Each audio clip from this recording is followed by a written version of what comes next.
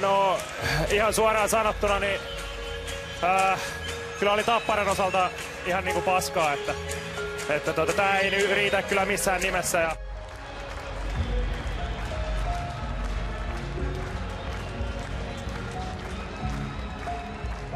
Me ansaittiin tää tänään. We earned this today. We fought more, we wanted more. And, and the dream's alive. It ain't over than the fat lady sings. That's how it goes.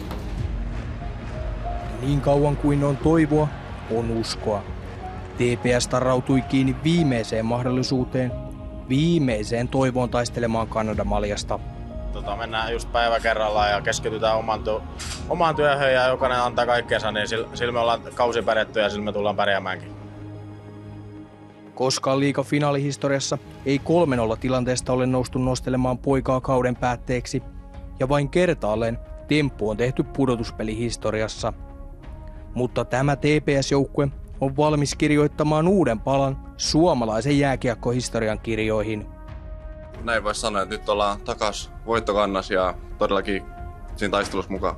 Kaikesta voi päätellä, että usko ei ainakaan horju. Ei missään nimessä. Tapparaleirissä sen sijaan ilmeet olivat aiempaa totisempia ottelun päätyttyä. Kopin pöydällä oleva palapeli jäi vielä ainakin toistaiseksi odottamaan sitä viimeistä ja ratkaisevaa palaa. Torstaina uusi mahdollisuus kotiareenalla. Mitä ajatuksia siitä? Hieno fiilis. Hieno fiilis siitä, joo. Me ollaan käännetty katseet sinne jo. Koko Tampere on valmiina tähän iltaan ja odottaa vain yhtä asiaa. Otetaan nyt!